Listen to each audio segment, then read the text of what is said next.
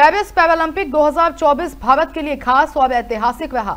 इसमें भारत ने सात गोल्ड, नौ सिल्वर और तेरह ब्रोंज समेत कुल 29 मेडल अपने नाम किए, जो अभी तक का सबसे बेस्ट प्रदर्शन भी है।